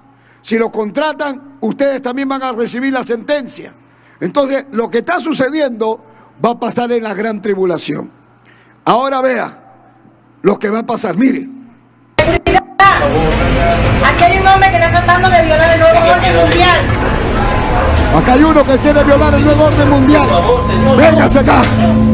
Y entonces se desata la persecución nunca antes vista. Se van a meter en las casas donde están los aleluya. Los van a agarrar. Con pausa. Pausa. Hermano, un favor. Quiero que le tape la cara a los niños. Si hay algún niño por ahí, tápale la cara a los niños. Papá, esos niños que están ahí, tápale la cara, por favor. Los niños que están por allá, hermano, hagan algo, ayúdenme. Porque yo no quería predicar este mensaje por las imágenes. Esto le he tenido que cortar porque esto lo predico en la iglesia. Y quiero que agarre a los niños, tápele la cara, yo libro mi alma, yo termino de predicar y me voy. Pero les estoy dejando el mensaje, lo que ustedes ya saben. No me diga, pastor, mi hijo no puede dormir porque hay imágenes muy fuertes, muy fuertes. Así que ya saben los niños, tápale la cara, sácate la chompa, la casaca, lo que tenga. Dijo, tú no puedes mirar esto. Amén. Y ojalá los niños, hay una niña que está por allá en el parque también. Si alguien tiene, tiene mamá, esa niña, que alguien la cuide, la mamá. Amén. ¿Me están escuchando? Colabóreme, por favor, ayúdeme. Si cerca de usted hay un niño, dígale, ándate para allá, hijito, tú no puedes ver esto. Ya. Se desata la persecución peor que la Santa Inquisición. En el tiempo de la Santa Inquisición, hermanos, los torturaban como usted no se imagina. Por ejemplo, había una tortura que se llamaba la silla de Judas, que era una pirámide con una punta. A los hombres lo amarraban de los pies y lo dejaban caer, hermano, para que se le mete esa punta por acá. Estaba la pera vaginal. A las mujeres le metían un fierro con una tuerca grande y se la metían en sus partes y eso se- adentro se agrandaba y la reventaba. Y eso mismo se lo metían en la boca. A los hombres le daban la vuelta y le reventaban la boca. Eso lo han hecho en la Santa Inquisición. Pero con esto, en el rapto de la iglesia, nosotros nos escapamos. Apocalipsis 3:10 dice, por cuanto guardaste mi palabra de mi paciencia, yo también te guardaré de la hora de la prueba que ha de venir sobre este mundo. O sea, nosotros Dios nos guarda y nos lleva, igual como lo guardó a Noé. Allá Noé, tú entra con tu familia al arca y se salvó Noé con su familia y al resto le cayó, ¿no? Ahora igual, esta persecución va a ser peor de lo que usted está viendo ahora. Tápele la cara a los niños. Se desata la persecución entonces con los que se quedaron. Casa por casa. Se meten a los templos. Lo van a arrancar de los pelos. Sácalo. Acá están. Casa por casa. Acá hay otro. Hombres, mujeres. Hermanos, los agarran a patadas. Acá hay uno más. No importa la belleza. No importa si es una chica. Si es un joven. Lo sacan, agarra. Estos no se quieren poner la marca. Estos son de los que están en contra del gobierno. No se quieren poner la marca. Agárralo. Los van a torturar. Los van a quemar. Le van a meter fuego. Hermano, le meten fierro, candela. Acá está. Acá hay otro más. Agárralo. Van a haber inventos espantosos de torturas. Dice, niega Jesús. Ponte la marca. Niega Jesús. Ponte la marca. Niega Jesús. Ponte la marca. No. No, ponte la marca. Torturas. No. No, ayúdeme. No. Ponte la marca. Torturas espantosas. Lo que nunca antes se había visto. ¿Te vas a poner la marca? No. Ponte la marca, niega a Cristo, niégalo, niégalo, niégalo. Pausa. ¿Se quiere quedar? ¿Se quiere usted quedar? Si usted se pone la marca, se condena. En Apocalipsis, capítulo 6, verso 9, dice, y vi las almas de los que habían sido muertos, que clamaban a gran voz diciendo, ¿hasta cuándo, Señor Santo y verdadero, nos juzgan nuestra sangre en los que moran en la tierra? O sea, los que van a morir en la tortura, no van a morir en la tortura, porque Dios no va a permitir que mueran. Apocalipsis 9:6 dice, y en aquellos días la muerte huirá de los hombres, y los hombres ansiarán morir, pero la muerte huirá. ¿Dónde dice, pastor? Apocalipsis 9:6. Quiere decir que la gente no va a querer que los persigan, no va a querer sufrir los juicios. Me mato, dice, me mato. Agarra una pistola y se dispara en la cabeza y no sale la bala. No sale la bala.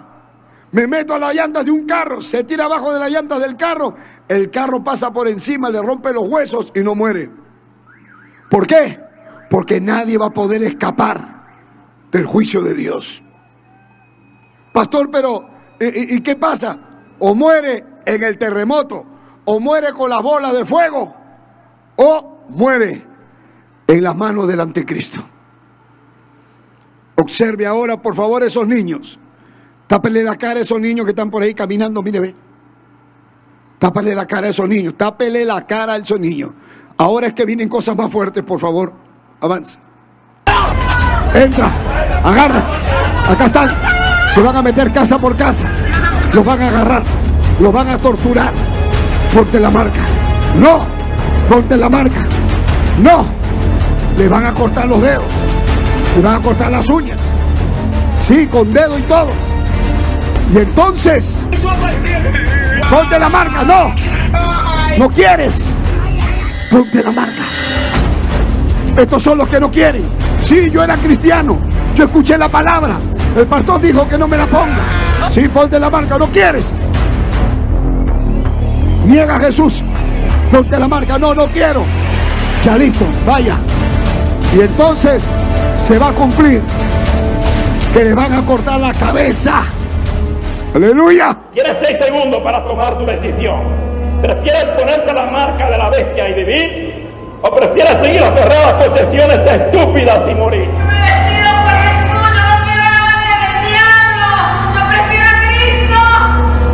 Tomó su decisión, sáquenla. Sáquenla. Y entonces, ¿qué le va a pasar? La torturan y luego le cortan la cabeza.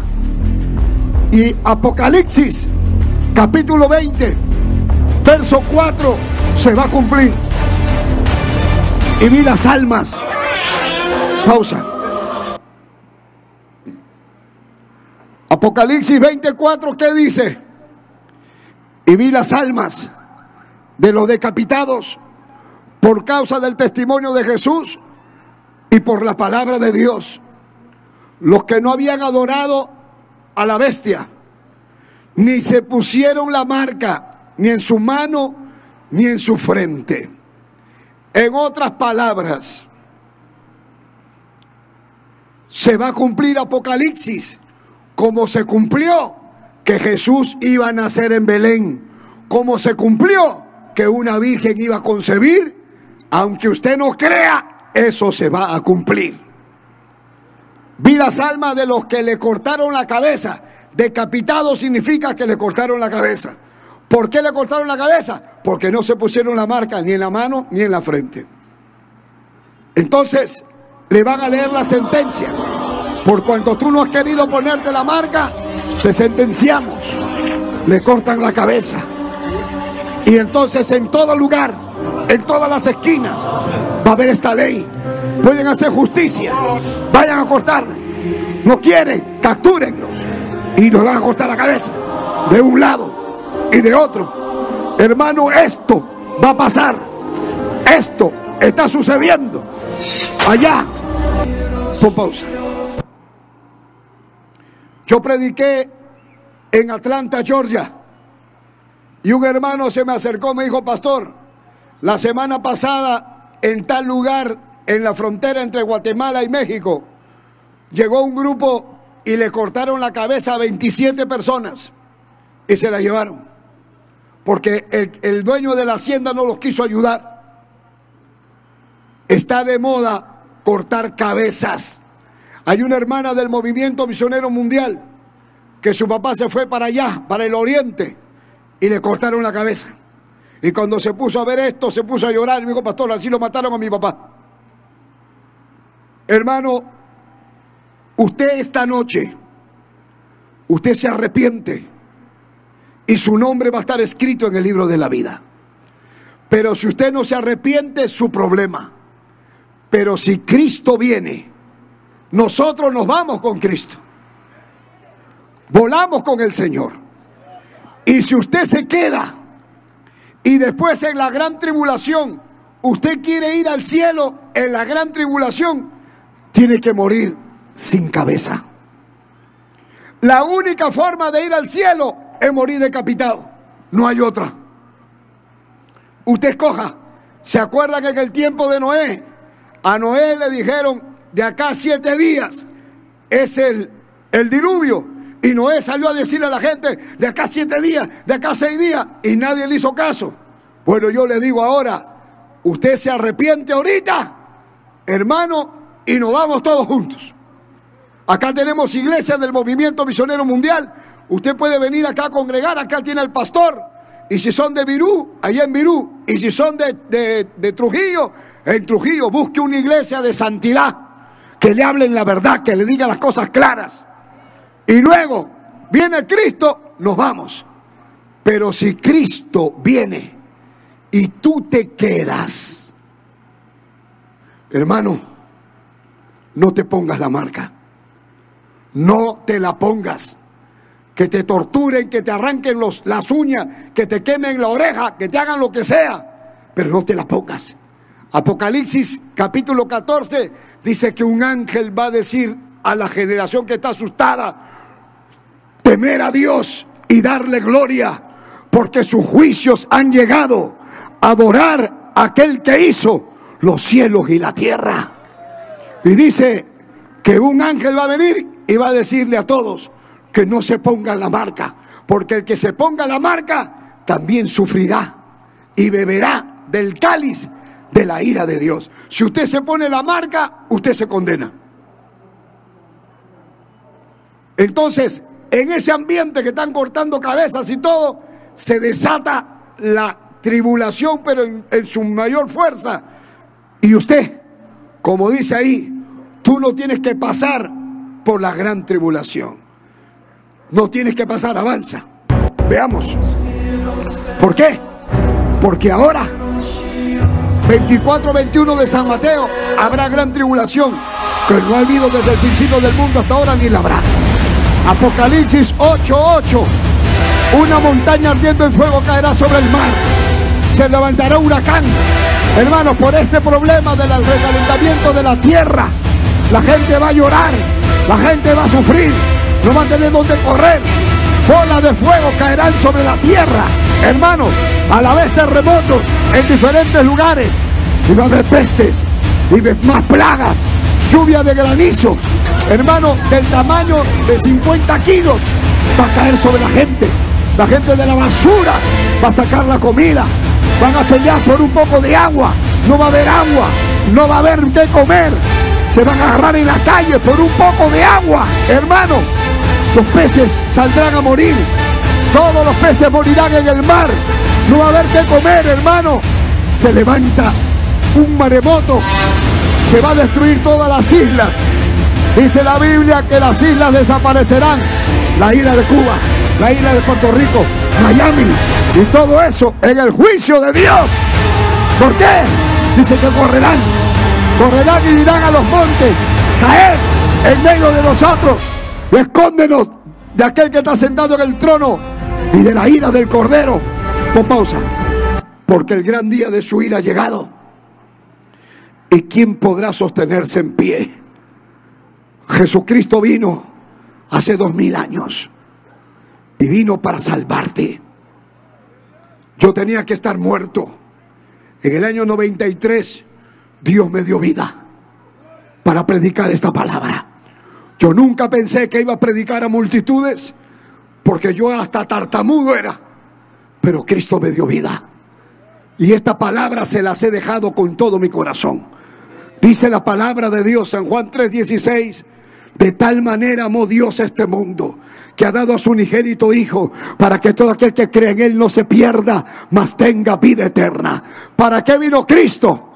Porque no envió Dios a su Hijo al mundo para condenar al mundo, sino para que el mundo sea salvo por Él. El que en Él cree no es condenado, pero el que no cree ya es condenado.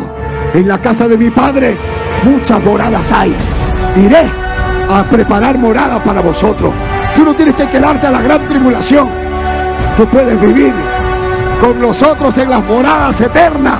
Hermano, dichosos los que guardan sus mandamientos para que tengan derecho al árbol de la vida. Nosotros estaremos en la gloria, en las bodas del Cordero, mientras que en la tierra la gente estará llorando y sufriendo la gran tribulación. Hoy es tu día de tomar una decisión. O Dios o el diablo.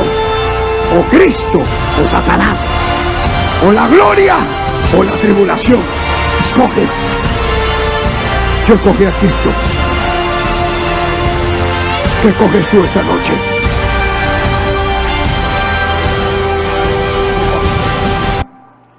Cristo puede venir hoy. Les voy a hacer una pregunta. ¿Me han entendido el mensaje? Es pura Biblia. Bien, si te quedas, ¿te vas a poner la marca? Quiero escucharlos. ¿Se van a poner la marca? ¿Seguro? ¿Se van a poner la marca? Ya saben, no se la pongan porque si se la ponen, beberán del cáliz de la vida de Dios. Amén. A mí ni me preguntes, pregúntame, pastor, ¿se va a poner la marca? Yo ni siquiera voy a estar, porque Cristo viene y yo me voy con Él. Así que a mí ni me preguntes. Pero si tú estás diciendo que no te la vas a poner, es porque estás pensando quedarte. Pero esta noche tienes una oportunidad. Cristo ha venido a salvarte. Póngase de pie en el nombre de Jesús y déjeme hacer una oración por usted. ¿Qué tienes que hacer? Levanta tu mano y dígame, pastor, ore por mí. Levante su mano y diga, pastor, ore por mí. Que Dios le bendiga, Dios le bendiga, Dios le bendiga, Dios le bendiga, Dios le bendiga. No tienes que pagar nada. Esto es completamente gratis. Ven, acércate. ¿Quieres, quieres que te diga algo? Tu familia. Piensa en tu casa. Piensa en tu familia. ¿Crees o no crees que estas cosas van a pasar? Las mujeres pónganse a este lado de aquí. Los varones pónganse aquí. Venga corriendo. Venga, hermano mío. Estas cosas van a pasar.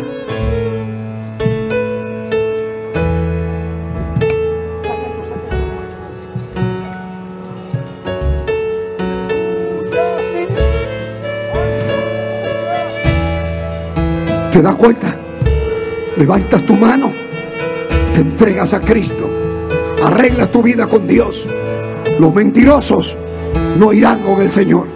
Los adúlteros no van con el Señor. Los fornicarios no van con el Señor.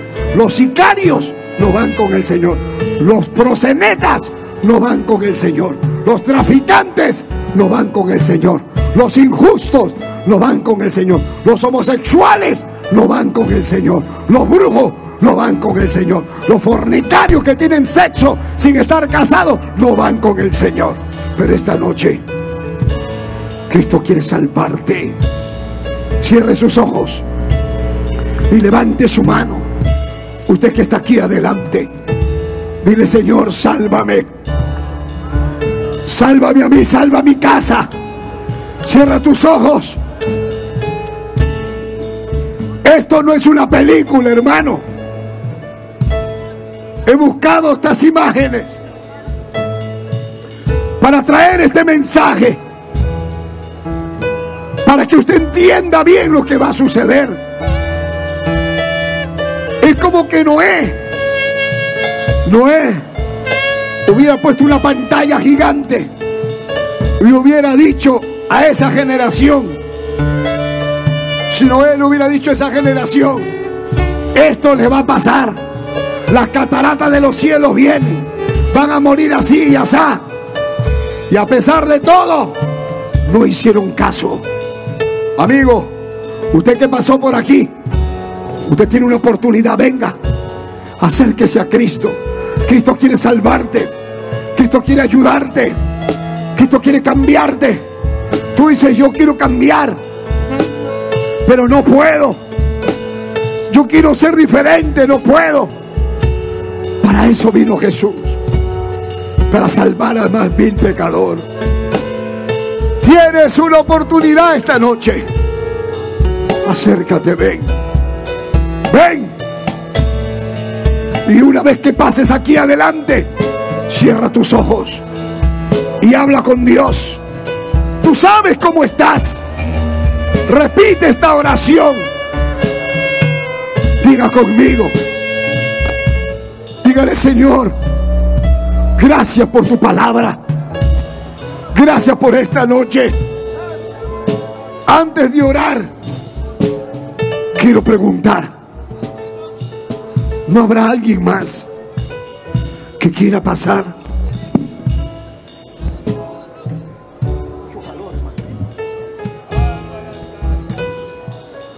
¿No habrá alguien más esta noche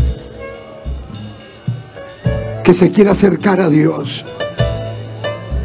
Amigo, acá no es que yo soy católico, que yo soy evangélico. Esto está en la Biblia. Esto tienen que saberlo los maometanos. Esto tienen que saberlo los chinos, los rusos, los alemanes, los peruanos, los chilenos, los colombianos, los de Lima, los de Trujillo, los de Piura. Para todos es este evangelio. Para ti es esta palabra. Acepta a Cristo hoy. Y Dios te va a ayudar. Dios te va a sacar del hoyo. Cristo va a cambiar tu vida. No tienes que pagar nada. No tienes que dar tu nombre. Solamente ven y acércate. La puerta está abierta. No vaya a ser que se cierre y ya no tienes oportunidad. Hoy es tu oportunidad. Esta noche es tu oportunidad. Acércate. Voy a contar hasta tres. Y se cierra la puerta. ¿Habrá alguien más que quiera venir? Allá viene una vida más. Que Dios le bendiga. ¿Alguien más quiere venir, amigo? Venga. ¿Usted escucha esa palabra? Yo lo hago responsable de su familia. Le hago responsable de su casa. Si tú no vienes, es porque eres un incrédulo.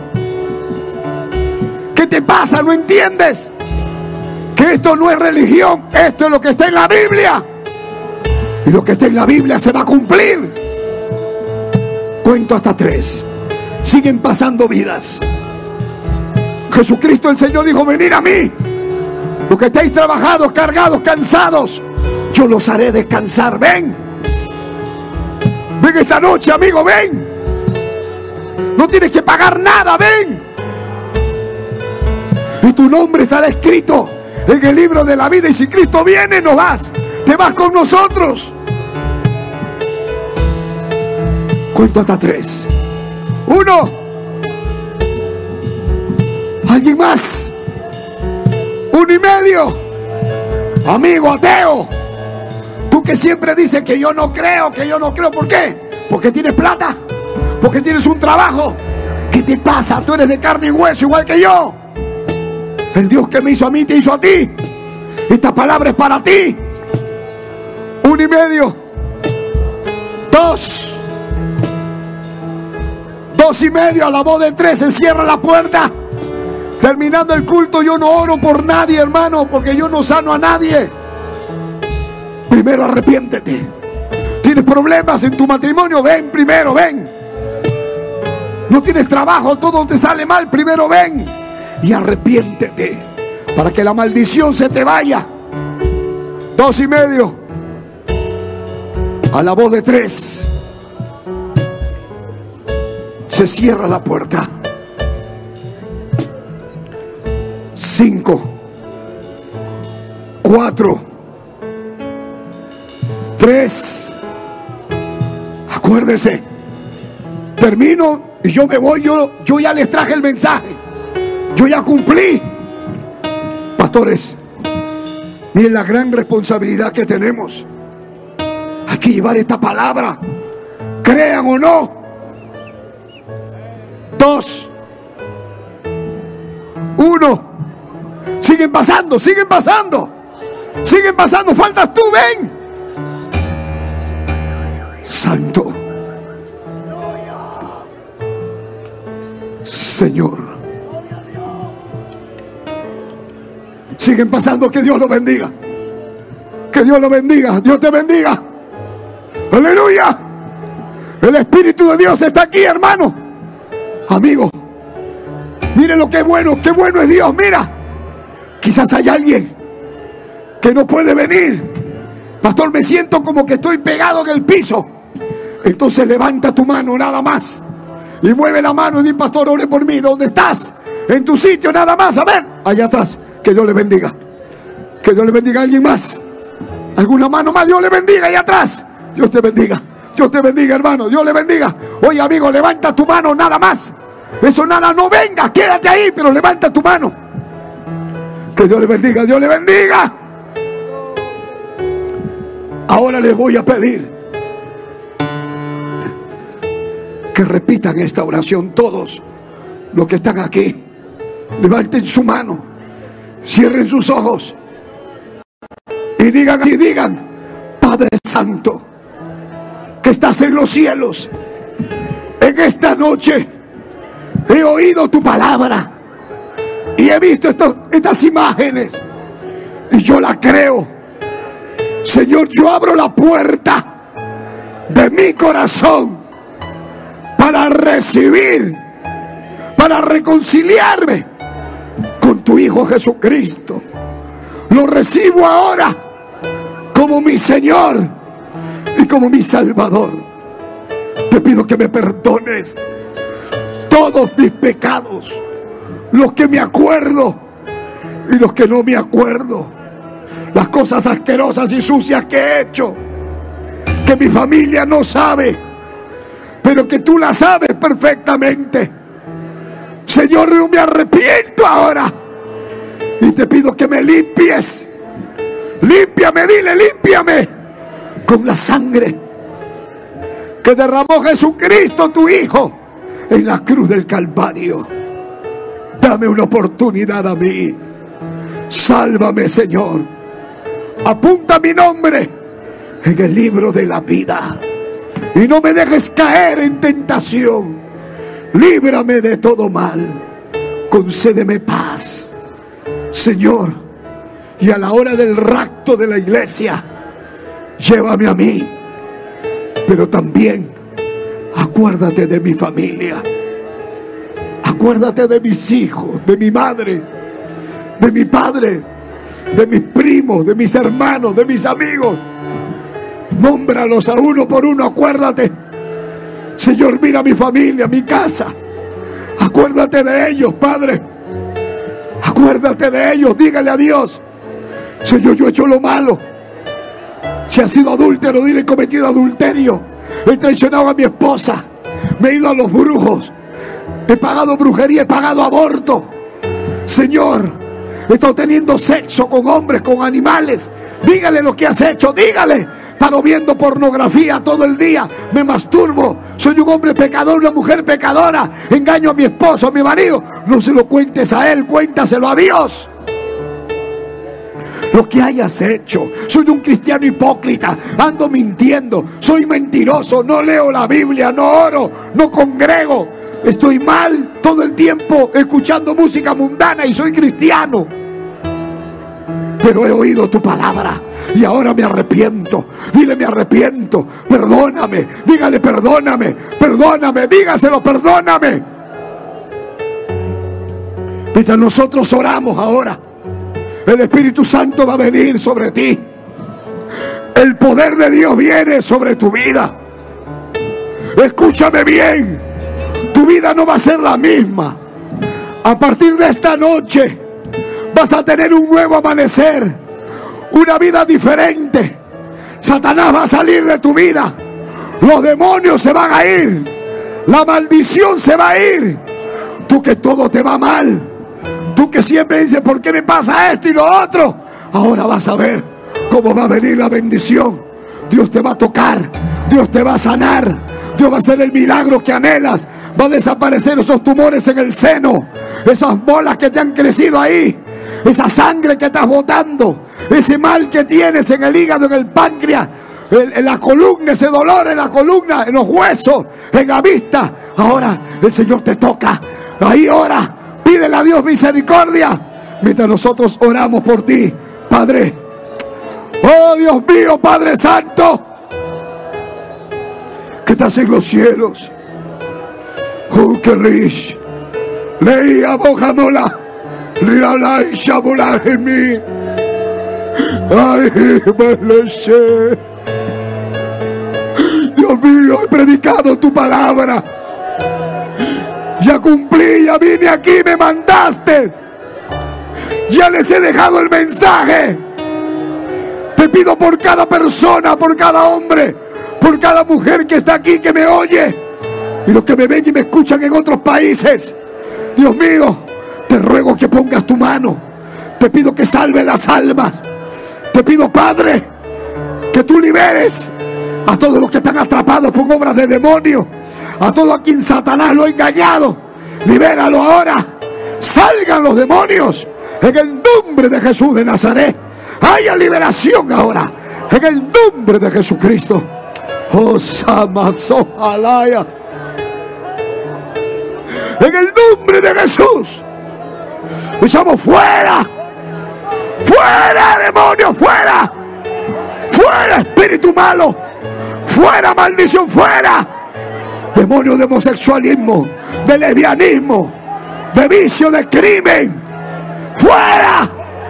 En el nombre de Jesús. En el nombre de Jesús. Haya liberación ahora. Trae bendición, trae paz. Salva las almas, Padre Santo. Te lo ruego. Extiende tu mano. Ayuda estas vidas. En el nombre de Jesucristo. Saibe. Lina Moshe. Jojosumeli. Santo. Gracias. Gracias, Señor. Ahora levante su mano y pídele un milagro a Dios. Él está aquí. Jesús está aquí.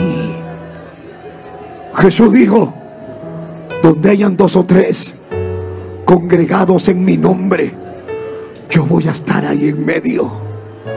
Es palabra de Dios. Se cumple también su palabra. Aquel que viene a mí, yo no le echo fuera. Esa es palabra de Dios también. Cree en el Señor Jesucristo y serás salvo tú y toda tu casa. Si algo pidieres al Padre en mi nombre, yo lo haré. Entonces levanta tu mano y pídele al Dios de lo imposible. Dile, Señor, sáname. Si estás enfermo, dile, sáname. Si no tienes trabajo, estás endeudado y no sabes cómo pagar esa deuda, dile, Señor, ayúdame. Ayúdame. Mi hijo está en la cárcel. Mi hermano tiene sida. Mi mamá tiene cáncer. Pídele a Dios lo que está pasando, dígaselo. mientras nosotros oramos por ti. Señor, ahora honra tu palabra. Tu palabra. Honra tu palabra. Te ruego que honres tu palabra. Tu palabra. Mira las vidas. Yo no los conozco. Ni siquiera sé su nombre. Ni dónde viven. Pero desde aquí, desde el altar, hay pastores. Hay obreros. Hay hermanos abajo. Hay vidas nuevas. Cada uno te está pidiendo algo. Yo también. Tú conoces mi necesidad. Tú conoces mi aflicción. Tú conoces lo que quiero. Lo que anhela mi alma. Extiende tu mano. Y a milagro. Milagros. En el nombre de Jesús. En el nombre de Jesús. Cualquiera que sea la enfermedad. De la cabeza hasta los pies. Toca, Señor, la enfermedad. Mata el virus. Mata la bacteria. Desaparece el tumor. Quémalo. Consúmelo. Como que fuera mantequilla con el fuego. Que se deshaga en el seno. En la próstata. Señor, en el cuello del útero. En los riñones. En el hígado. En el páncreas. En la sangre. En la columna. Señor, esas, esas arterias tapadas en el corazón. Extiende tu mano. En la vista, en cualquier parte del cuerpo, en los hogares, en la familia, en los matrimonios. Padre, a milagro. Te lo ruego, Dios mío. En el nombre de Jesús. Te lo pido, te lo suplico. Aleluya. Hermano, no tienes que sentir nada. Solo tienes que creerlo. La Biblia también dice, para el que cree, todo es posible. No para el que siente, sino para el que cree. ¿Puedes creerlo? Entonces dile gracias. Dígale gracias, gracias. Más fuerte. Dígale gracias. Ahora diga gloria a Dios. Diga aleluya. Diga gloria a Dios. Dígale gracias. Gracias, Señor, gracias. Levante su mano y diga conmigo bien fuerte. Gracias, Señor. Muchas gracias, Señor. Gracias, Señor. Yo quiero darte gracias, Señor. Todos levanten su mano al cielo y digan, gracias, Señor. Muchas gracias, Señor. Dígale gracias por todo lo que viene. Gracias,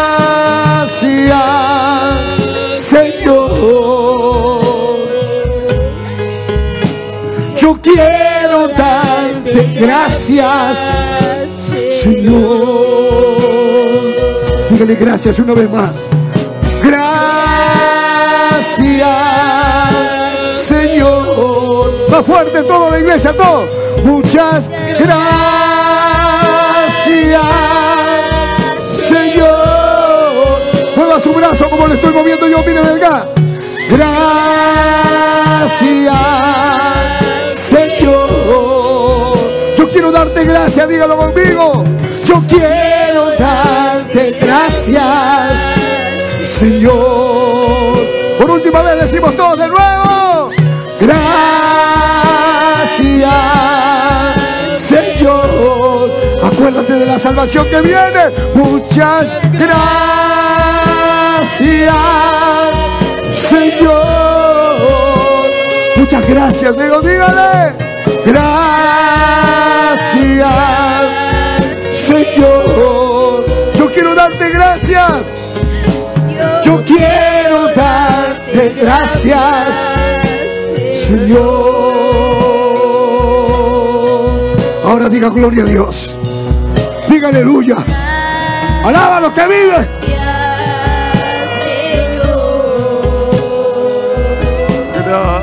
Dele gracias, dele gracias a Dios. Bendito sea el nombre Señor. Gracias, Señor. Gracias por el perdón de mis pecados.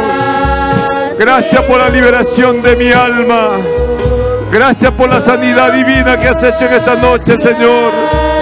Gracias por restaurar mi vida a la comunión con nuestro Dios. Gracias, Señor. Muchas gracias, muchas gracias. No se canse de darle gracias al Señor. No se canse, no se canse de darle gracias al Señor con todo su corazón, con toda su alma. Crea, crea que lo ha recibido, solamente créalo, créalo que lo ha recibido, porque Él es real, Él está aquí. Aleluya, sigue haciendo milagros, sigue obrando, sigue manifestando su gracia y su amor. Gracias Señor, porque has sacado el odio, el rencor. Y has derramado tu amor a mi corazón, Señor. Muchas gracias, Señor mío y Dios mío. Gracias, Señor Todopoderoso. Créalo, hermano, créalo con todo, su corazón. Que usted hoy día no, no, no- no se va de aquí igual como ha venido, sino con un milagro en su vida. Aleluya. Lo que los médicos le detectaron, ya no hay nada. Créalo con todo su corazón. Lo que el diablo estaba acusando, ya no, ahora es justificado por el poder y la gracia del Señor. Dale gracias. Y así dándole gracias puede regresar a sus lugares. Aleluya.